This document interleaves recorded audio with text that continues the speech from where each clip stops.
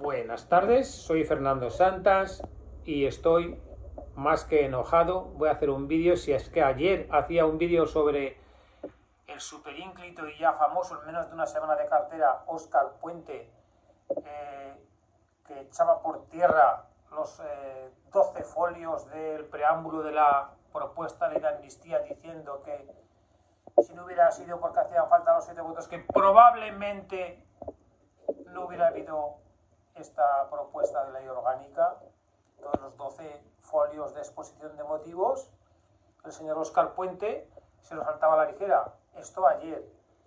Pues ahora, para hacer unas declaraciones, para eh, justificar esas declaraciones de ayer, la lía más parda.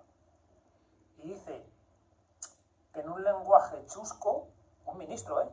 Un ministro que tenemos tenemos 20 ministros, o sea, un ministro de España dice, hablando en un lenguaje chusco, lo que quise decir es que como esto es como una que se queda embarazada de penalti, unos novios y tal, que se iban a casar igual y vaya adelante, y con esto del penalti vaya adelantan la boda, ¿no? Pero total, total, se iban a casar igual, entonces esto de la ley de amnistía como total, se va a aprobar antes o después porque hay que arreglarse, pero, pero ¿esto qué es? Esto es España, esto es un ministro, estamos hablando de la ley de amnistía, de la autodeterminación, de la independencia. Y un ministro habla de, en lenguaje chusco de penalti, de embarazo, de adelanto del matrimonio, pero esto es surrealista. Pero lo más surrealista de todo ya no es el hecho en sí, que es que es de un nivel cultural que deja a España a la altura del betún.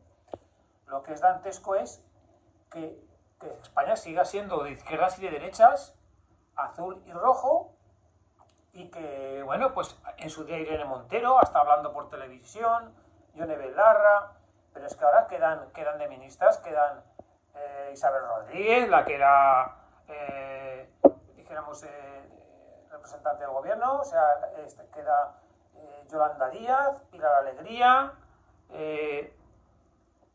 y ahora no salen personas que son, Montero también, que son, que tienen la lengua como serpientes, eh, como, como víboras. Ahora, como el que dice estas barbaridades, es, dijéramos, del PSOE, se callan y no salen a hablar. Es que esto es alucinante.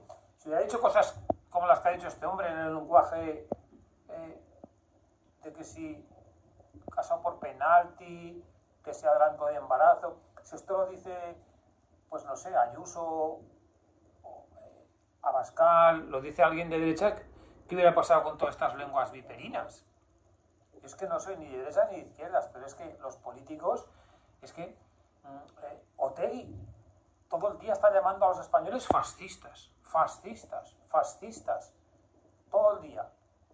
Ahora tampoco sale a decir este, este eh, ministro socialista que lleva dos días y ha dicho dos disparates inmensos.